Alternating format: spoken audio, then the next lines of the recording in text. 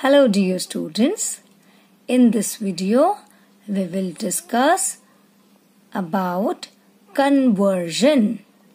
We will discuss about the conversion of rupees into paise and paise into rupees. So let's start. Conversion of rupees into paise. To convert rupees into paise, we multiply the number of rupees by 100 we simply multiply the number of rupees by 100 and add the given number of paise if paise is there. So children, let's look at some examples for better understanding. First example, convert rupees 71 into paise. Solution, for converting rupees 71 into paise, we will simply multiply 71 by 100. So here rupees 71 is equal to 71 multiplied by 100 capital P. This capital P represents paise. So this 71 multiplied by 100 is equal to 7100 paise. Next example. Convert rupees 92 and 4 paise into paise. So in this case children what we will do?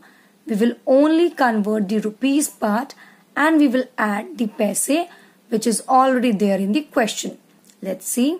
Solution 92 rupees 4 paise is equal to rupees 92 and 4 paise we have written separately. So here we will convert rupees 92 into paise which is equal to 92 multiplied by 100 paise plus 4 paise. This 4 paise was there in the question. Now we got this product 9200 paise plus 4 paise which gives the final answer 92 rupees 4 paise is equal to 9204 paise. So in this way we will convert now coming to the third example, convert rupees 0 and 53 paise into paise. Since children, here we have no rupees, we have 0 rupees. So we will simply write rupees 0 and 53 paise as 53 paise. Now let's discuss the conversion of paise into rupees. How to convert paise into rupees. To convert paise into rupees, we simply put a point after two digits from the right. What does it mean? Let's understand. For example, we have four examples.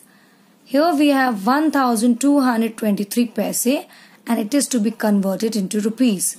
So what we will do? First thing we will do is we will write the symbol of rupees children. Whenever we convert paise into rupees we will write the symbol of rupees. Then we will simply put a point after two digits from the right. We'll simply put a point after two digits from the right side. So what it will become? It will become 12 rupees 23 paise. What we have done? We have converted this paise into rupees by putting a small dot just after two digits from the right side. Now let's move on to the second example. It is 1002 paise.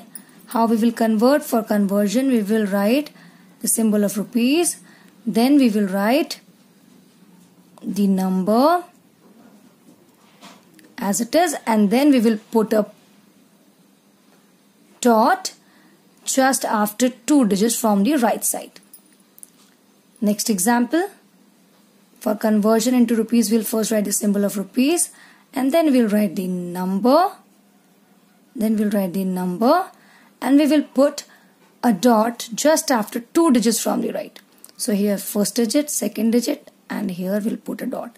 Since there is nothing in rupees, so we'll write a zero. Moving on to the next example. For converting 5 paise into rupees, what we will do, we will write the number and then we'll put a dot just after two digits from the right. So from right, this is the first digit.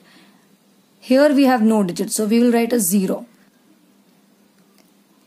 And then we will put a point just after the 0 and since we have nothing in rupees so we will write a 0. So this rupees 0 and 5 paise represents 5 paise. Okay children. So children in this way we will convert paise into rupees and rupees into paise. So hope this video will be useful for you all. Thank you for watching.